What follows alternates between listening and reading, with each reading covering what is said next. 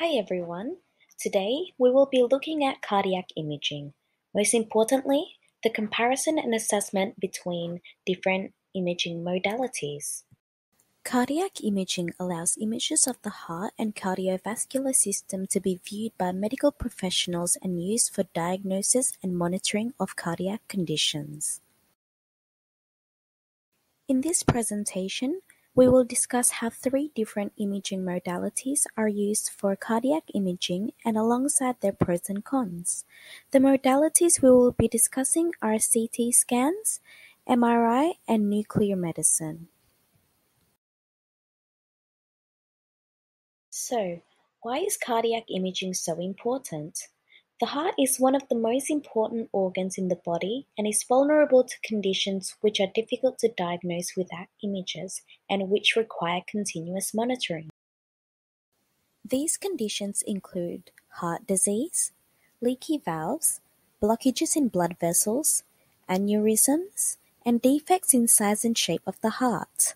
All of these require imaging for diagnosis. Chronic conditions require regular updated images, so easily accessible and affordable imaging modalities are very important.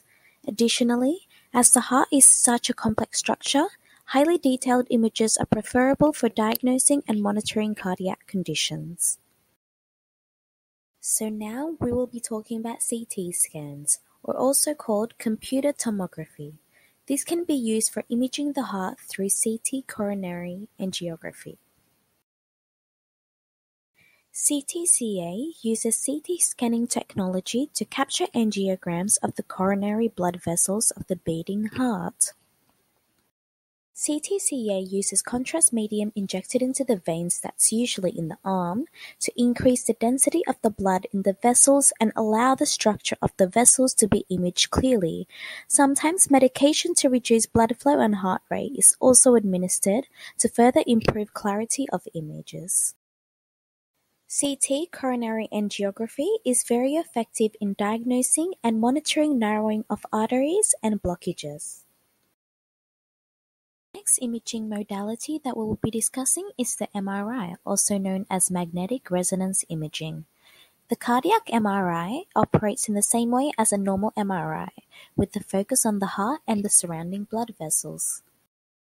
Cardiac MRI can also produce detailed images of the heart and the surrounding structures to diagnose and monitor various cardiac conditions, such as hypertrophic cardiomyopathy. Cardiac MRI is also useful for providing additional information on